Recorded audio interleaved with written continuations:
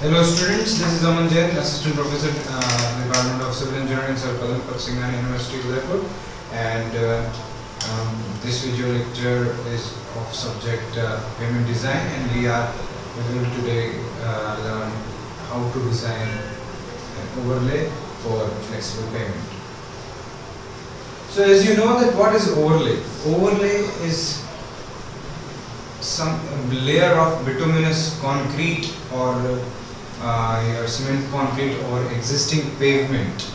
Uh, this is quite different from laying, uh, uh as you know that this is quite different from laying uh, uh, fresh or new pavement but it is like we are laying laying an extra layer over the existing pavement surfaces to strengthen them uh, to provide extra strength to it.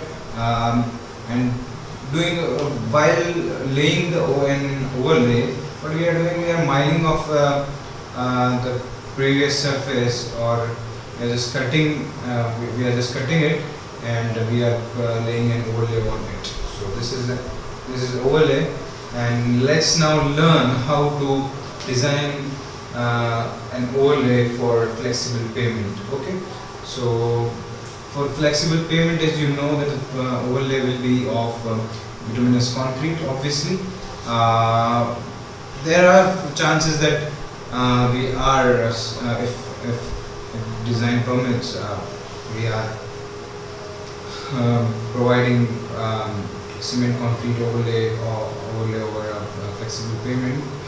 But today what we will learn is design of overlay for flexible pavement. So let's begin with it. Uh, as I was talking about the types of overlay, asphalt overlay over asphalt pavements, that is flexible pavement over flexible pavement, asphalt overlays upon cement concrete pavements, uh, CC overlays upon asphalt pavements, and CC overlays on CC. So these are four combination, four different different combination of which we can um, uh, provide the overlays. So today we will learn how to, uh, what are the steps in design of overlays. So what we are doing, measure, um, uh, these are the steps involved, different different steps involved in the uh, overlay designs. So first of all, measurement and estimation of the strength of the existing pavement. So first of all, we are measuring the um, uh, measuring and estimating the present strength of the existing pavement. Then next, uh, we have to uh, we have to know the design life of overlaid pavement. Then uh, how much for how many years we have to keep that overlaid pavement over here. So then uh, after this step we are looking for estimation of traffic because over a period of time uh, traffic also changes. So if we are doing then uh, why not a fresh estimation of traffic to be carried out for the overlay pavement. So then we are uh, doing the determination of the thickness and the type of overlay. So upon all these three things uh, we are deciding the uh, thickness and the type of overlay uh, for any existing pavement. So there are a few methods and uh, the first method which we are going to learn is effective th thickness method. Uh, basic concept of this method is thickness of overlay is the difference between the thickness required for a new pavement and the effective thickness of the existing pavement that is uh, as said uh, HOL equals to H new minus H existing. So this is the thickness of overlay and this is the thickness of new pavement designed for the current period and this is the effective thickness after effective thickness of existing pavement. So this is the basic concept of this effective thickness method. how it is designed. So it just says that uh, thickness of overlay is the difference between the thickness required for a new pavement and the effective thickness of the original pavement. So this is the method. Um, all thicknesses of new and existing materials must be converted into thick, equivalent thickness of uh, AC that is uh, HE is a summation of uh, summation of H and C. That is thickness of layers layer I and Ci is the conversion factor for the layer I. This is the Asphalt Institute conversion factors. For subgrade is 0 for granular just subgrade is uh, 0.1 to 0.2 asphalt concrete surfaces and bases that exhibit appreciable cracking patterns. Uh, the conversion factor for the same is 0.5 to 0.7. Then comes the asphalt concrete surfaces and bases. Uh, the conversion factor is 0.7 to 0.9. Then next comes the asphaltic concrete including the asphaltic concrete base and uh, the conversion factor for that is 0.9 to uh, 1.0 so this is the thing. Uh, let's take an example to uh, to understand this uh, method very easily. So you know you can just go through the thickness of the existing pavement 250 mm GSB 250 mm WM BM 100 mm of BM and 40 mm of asphalt concrete. So then the thickness of the new pavement is also given. Uh, I mean 300 mm GSB, 250 mm NWM, 100 mm DBM and 40 mm asphalt concrete. So if to convert, uh, so condition of old pavement layers, the GSB and WM layers are in good condition with PI of fines more than 6, conversion factor is 0.1. Mm, BM layer shows a degradation, conversion factor is 0.5 uh, exterior shows appreciable cracking, conversion factor 0.6. According to the table we have seen back, uh, you may uh, just go through this table uh, as far as conversion factors and now you can just solve this example according to formula. Uh, effective thickness of the old pavement is uh, like uh,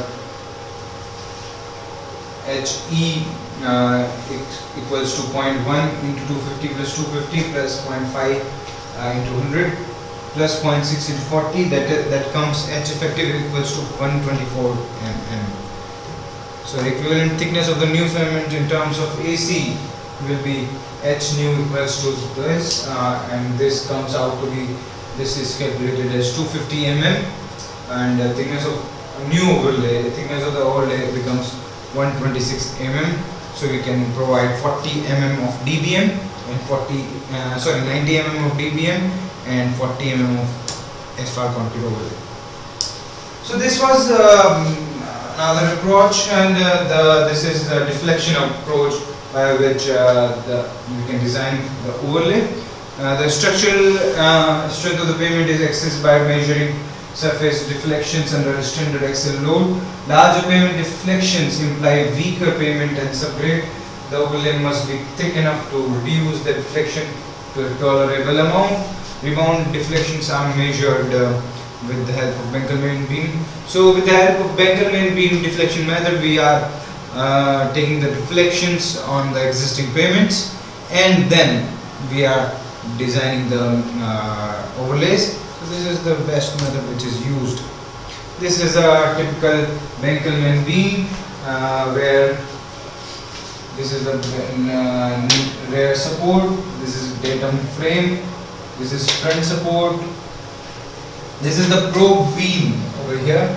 So here is the probe resting, the length of the probe, probe beam is 2.44 mm and uh, this the length of this is 1.2 mm there is a deflection dial over here and uh, by this Benkelman beam uh, loaded truck is moved on the road highway and we just this is the wheel of loaded truck. And this is first point intermediate point position and this is the final position of the beam uh, of the wheel and uh, then it is taken there you can see it in plan this is the elevation this is the plan and the probe of the Deck-Blankenstein beam is kept uh, between the two wheels and then it is done. The specification of measurement uh, like that. The conditions of the deflection data are to be used to establish the section of uniform performance at least 10 deflection measurements should be taken um, mm, should be made for each section per lane to subject to a minimum of 20 measurements per kilometer. The highest or the lowest deflection values for the section differ from by mean by more than one third of the mean.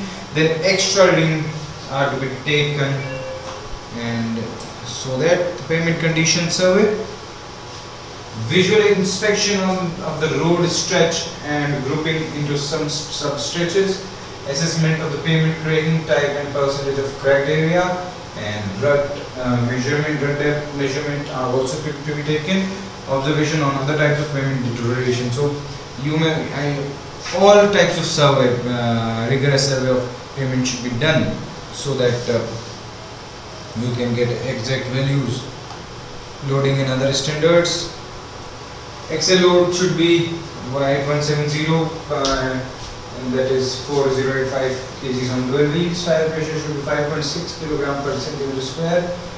Standard pavement temperature should be around 35 degrees Celsius. Uh, ISO grade moisture content soon after the monsoon. So this test should be carried out carried soon after the monsoon. Uh, some precautions during the rebound, uh, deflection observation very low and zero values, variation of individual variation not more than one third of the mean value.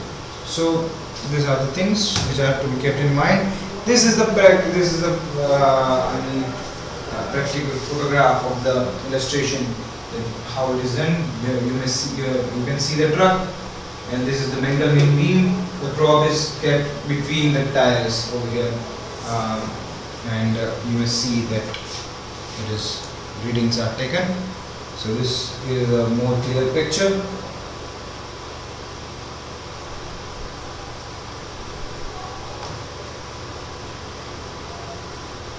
How uh, you can see clearly that how the probe is placed between the tire. Measurement of the pavement temperature at one hour interval always it, it should be done. Measurement on the of field moisture content of the subgrade soil typical soil samples uh, for lab test soil classification and other data to be collected.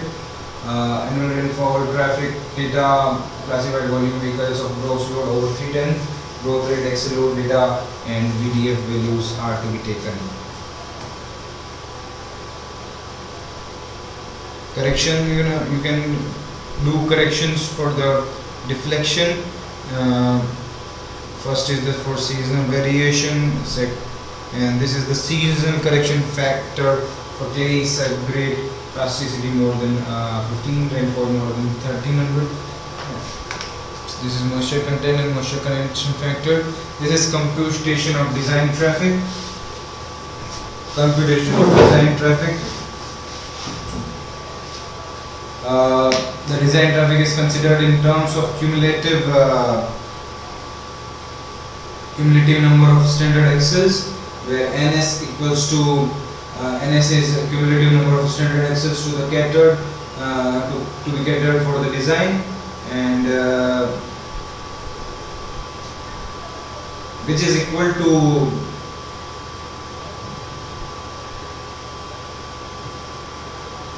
Three sixty-five into a one plus r raised to the power x minus one upon r into f, where a is the initial traffic in the year of the completion. Uh, completion of the construction of design lane. R is the annual growth rate of commercial uh, vehicles, design life in years, and F is the vehicle damage factor. So this is how we can um, calculate the design traffic. Designer, this is the overlay uh, design according to the IRC method, which is um, IRC recommends design curves relating to characteristic pavement deflections to the cumulative number of standard axle used. The deflection of the pavement after the corrections, uh, that is characteristic deflection to be used for the design purposes. the design uh, traffic in terms of cumulative standard number of axles should be used. Overlay thickness design curves IRC and uh, the thickness obtained from the curves is in terms of, terms of luminous mechanical construction. If the uh, other composition are delayed then uh, 1 centimeter of bituminous macadam equals to 1.5 centimeter of WM, WMM and BUSD. 1 centimeter of bituminous macadam uh, is equal to 0.7 centimeter of uh, uh, AC and SDBC. So what is the type of material should be used for overlay? The type of material for overlay depends on the following factors. Uh, that those factors are importance of design road, design traffic,